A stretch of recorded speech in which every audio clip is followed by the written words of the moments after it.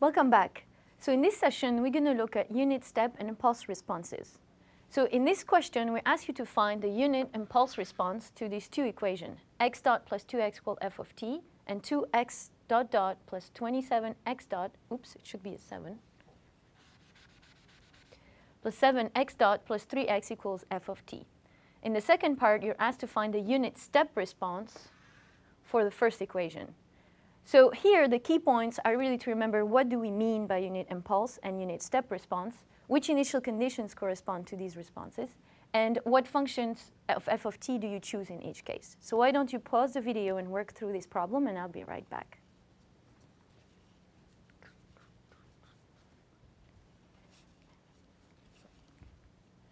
Welcome back. So let's look at A, the equation A. So the unit impulse response is simply, and I'm going to write this down, unit impulse response is simply the solution to the following problem. To our differential equation, x dot plus 2x that we're given, with the forcing in a delta function of magnitude 1 with rest initial conditions. Which means in this case that x of 0 equals to 0, x of 0 minus is equal to 0. So how do we go about solving this equation?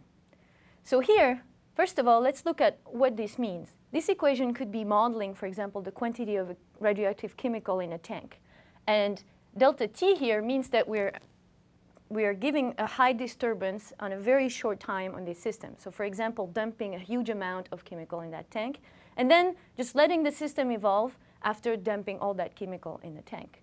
So really what we could see is that the delta could be identified to, to the x dot, which is the highest derivative in the system, and that would then mean that we have a jump in the second highest derivative, which would be in x.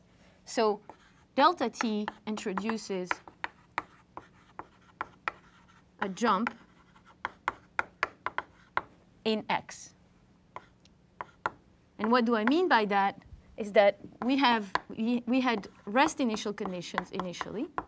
Now we have to go into a jump where the quantity in the tank was raised to 1, which is basically uh, the magnitude on the right-hand side and the fact that we have no coefficients for the highest derivative in the system.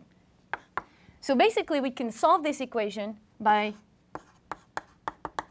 solving the equivalent problem.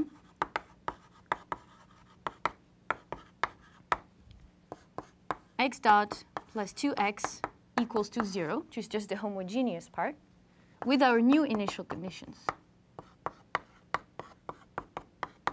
x of 0 minus equals to 1. And so here, clearly from before, we saw that this solution would be a decaying exponential. We would have a constant integration here, which would be just 1 given our new initial condition. So this would be valid for t larger than 0. And given that we started from rest initial conditions prior to the disturbance introduced by the delta, we could also write this with a u of t step function if we were to consider t in R. So if you want to look at how the solution would look like, we would have basically rest initial conditions, and then a jump introduced by our forcing, and after that, just a decaying exponential.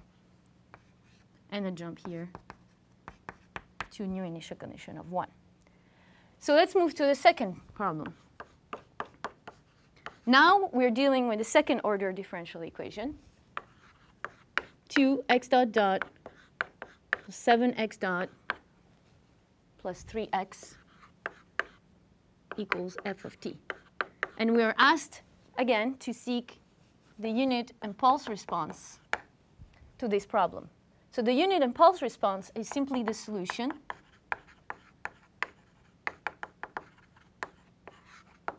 of 2x dot dot plus 7x dot plus 3x equals, again, the unit impulse means that we're just kicking the system with an impulse, or delta function, and we're starting from rest initial conditions. So here, let's just look at what could this be modeling. So this could be just basically Newton's second law with an acceleration and forces applied to the system. For example, it could be a mass with, uh, hanged on a spring with certain damping due to this term. And this delta here would have basically the units corresponding to a force that would be felt by the highest order term in the integral, which could correspond to the acceleration multiplied, for example, by a mass of, of 2. So really, the delta introduces can be identified to the highest order derivative, which means that we would have a discontinuity from 0 to 1 on the derivative one degree lower, so in x dot. And so the delta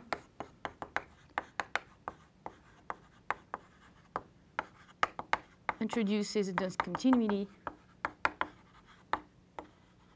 on the second highest derivative. And what I mean by that is that we have a jump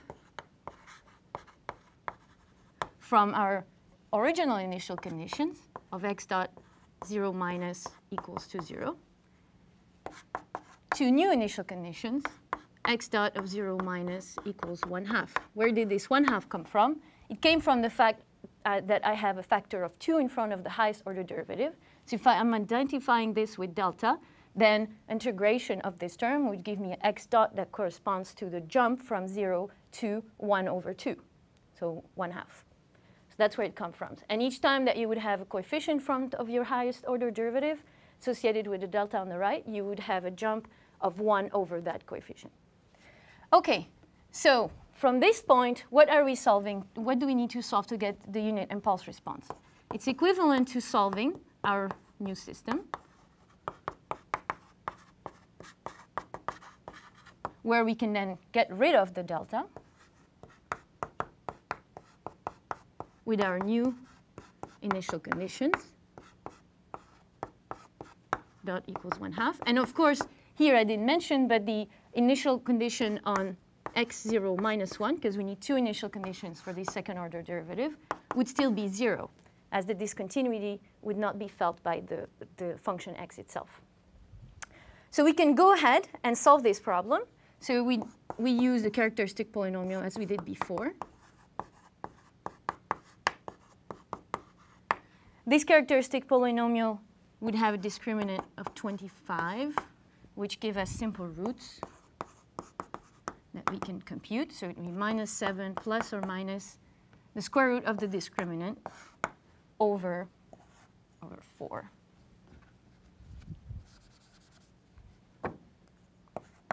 So we have two roots, minus 7 minus 5 over 4, minus 12 over 4, which is minus 3, minus 7 plus 5 over 4, which just gives us minus 1 half.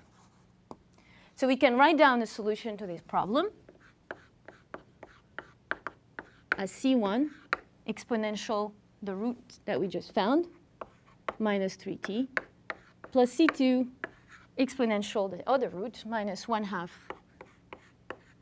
of t. Now, to get C1, C2, we need to take into account the initial conditions. So the first one tells us that uh, x at 0 is 0. So that will give us C1 plus C2 equals to 0. So basically C2 equal minus C1. And the second initial condition tells us that the derivative is 0. So that gives us minus 3C1 minus 1 half C2 equals to 0. Here we have that C2 is equal to minus C1, so we can just factor out everything. And we end up with 3 minus 1 half. Oops, sorry, here it should be 1 half, our new modified initial condition. equals to 1 half. And here you would have fifth half equal to 1 half, so C2 equals 1 fifth. Equals minus C1. And so plugging in C1 and C2 in this formula would give us the general solution. With C2 exponential minus 1 half t minus exponential minus 3t. And all of this, remember, we're solving for t larger than 0 in our modified system with our new initial conditions. So this is for t larger than 0. And again here, if we wanted to just write it for t in or r, then we could just add the step function u of t that would just signify that we took rest initial conditions before x equals 0 minus. OK, so that ends the first part. So now quickly, for the second part, we're asked to find the unit step response the unit uh, yeah, the unit step response to the first system. So the unit step response is just the solution to our original ODE problem, x dot plus 2x. But now f of t is the step function, hence the step here, with still rest initial conditions. So really, the step function is just 0 everywhere before 0 minus, and it takes the value of 1 after. And so basically, we can just solve again for t positive.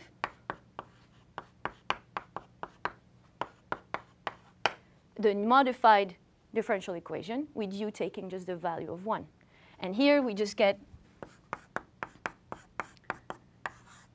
similar roots, so it would be a minus 2t, but then we would have a constant integration to worry about. And a new particular solution, a lucky guess would just be a constant, and that would give us a 1 half from 1 over 2. Okay? So then we would just need to seek the C1 that would give us x of t equals to 0 at 0. Because in this case, we don't need to modify the initial conditions. They still remain the same, the rest initial conditions. And so we would get here just C1 equal minus 2.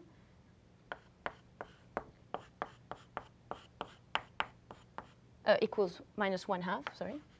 And so we would have 1 minus exponential of minus 2t. So just here, something I forgot to mention. What could this be modeling? So this could be modeling, if I go back to my analogy of the the radioactive chemical in the tank, this would be telling me that after a certain time, I start inputting at a steady rate, at a constant rate of u of t, of one per unit of time, the amount in the tank, and then looking at how the system evolves to that. So there's no abrupt change that introduces a discontinuity. Uh, so just to conclude, I just want to sketch this solution just so that you see the difference between the two. And here, what we have, uh, again, I could have introduced my u of t here if I want t in R. So here we have, again, a solution that is 0 before. It's, there's no discontinuity. It's still 0 at 0 minus. And then we have basically a solution that is growing until it reaches an asymptote of 1 half when this exponential goes to 0. And so you can see that it's a smooth transition because I just started inputting the amount of the chemical in the tank and in, non, in a non-abrupt way. So this concludes this session.